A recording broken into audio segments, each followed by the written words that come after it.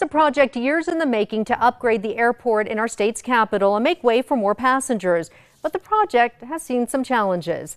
News 13's Marilyn Upchurch explains what's taking so long. Santa Fe, we deserve a better airport. Construction began in February last year on the $22 million worth of upgrades at the Santa Fe Regional Airport.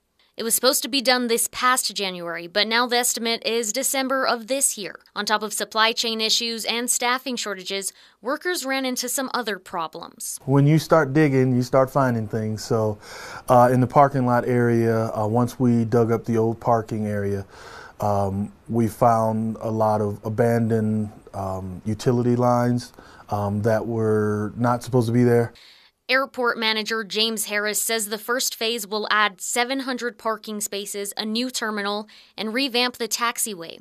Currently, the airport's one terminal accommodates around 360 passengers across seven flights a day. Harris says the second terminal will accommodate more flights for the two existing airlines and possibly make way for another. We got to grow for the future. Right now, we're boarding um, full flights, and as the airlines try to add more flights, we have to grow with those flights. The project's second phase will expand the terminal, adding up to five gates and more seating. Though Harris acknowledges the construction can be inconvenient, he says it won't affect their services.